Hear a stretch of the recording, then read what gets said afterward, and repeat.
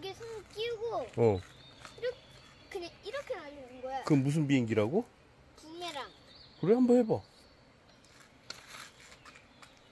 우와, 우와, 우와 대박. 부메랑인데 왜 이렇게 돼야지? 계속 해봐. 어? 시원이처럼 날리면 안 돼. 어. 우와 대단한데? 뭐 그러는데 금방 돌아오네. 오오오오. 오, 오. 와 대박. 이렇게도 돼. 이 뭐야? 오. 부메랑 비행기 되, 부메랑 되, 되던데. 오.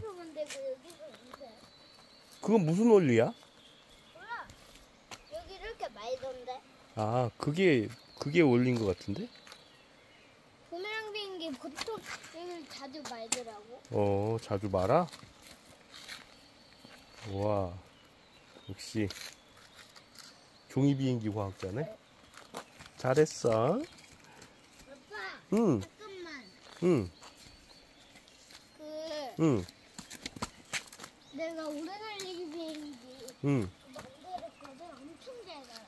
그래? 엄청 막 내가 이렇게 이렇게 날리잖아. 응, 봐봐. 여기서 응. 이렇게보다 더 올라가. 아 그래? 아빠 날리 날리자 있다가 응, 지금은 정수나랑 날릴래. 그래. 어 날려봐. 어 진짜 잘 날려. 어 엄청 위로 올라가. 그래? 에? 오 엄청 위로 올라갔다고 왜 걸리지? 다시. 이거 날 혼자 해서 어 그래. 우와.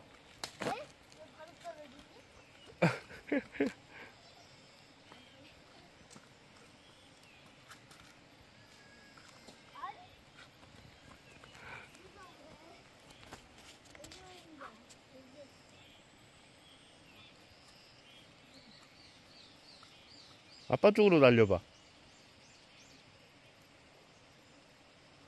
엘리베이터 좀 조금 올리고 음. 올리고 우와. 우와 우와. 우와 우와 우와 역시 엘리베이터 조정을 해야 되는구나.